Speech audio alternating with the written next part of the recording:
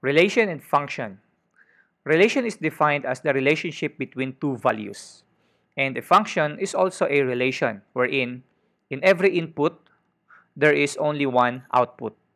And those input and output are the domain and the range in our xy plane, wherein the domain is the set of uh, x values, and the x values go from left to right.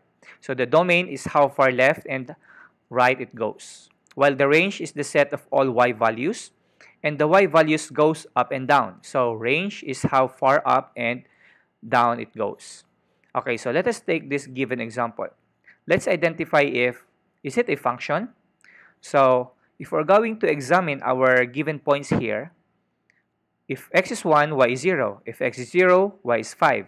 If x is 3, y is negative 4. If x is 5, y is 0. Notice that in every input or x values, there is a unique output, which is the y values. Therefore, it is a function. And where are the domains? The domains are the set of x values. So it's 1, 0, 3, and 5. So let us arrange them in ascending order for it to be organized. And for our range, it is the set of all y values, the 0, 5, negative 4, and 0. So we can just write this uh, ones. So it's negative 4, 0, and 5. And for our given number 2, is this a function? So to examine the uh, set of points, in point 1, in first point and second point, notice that if our x is 2, y is negative 2. But the same x, it gives us a different value of y. So from these two points, this tells us that the set of points is not a function. So our domain, the x values 2, 0, 2, and 3. For our range, negative 2, positive 2, positive 1, and negative 1.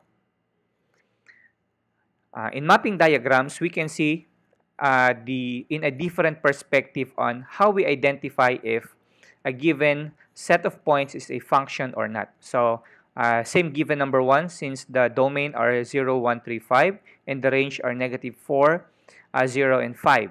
So if our uh, x is 0, our y is 5. If x is 1, y is 0. If x is 3, y is negative 4. If x is 5, y is 0. So notice that uh, they have a unique values for uh, for every uh, x. There's a unique values of y. While in given number 2, we're in the domain is 0, 2, 3, and the range is negative 2, negative 1, 1, 2. So if x is 0, y is 2. If x is 2, y is negative 2. But the same x which is 2, it gives us a different uh, value, which is 1. If x is 3, y is negative 1. So in this uh, given here, wherein it gives us two uh, different values of output in one input, so this tells us that it is not really a function.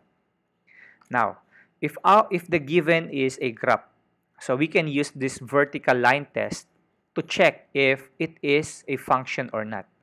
If the line or the graph or the points will touch our vertical line test once, therefore it is a function. Okay, look at this given uh, on my left. So this line touches, I mean the graph touches our red line, the vertical line test, once.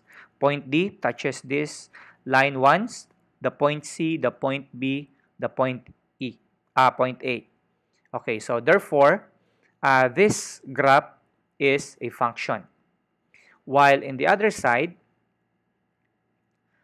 we have no problem here so far. Point E touches the line once, point A, point B, but our problem is in here.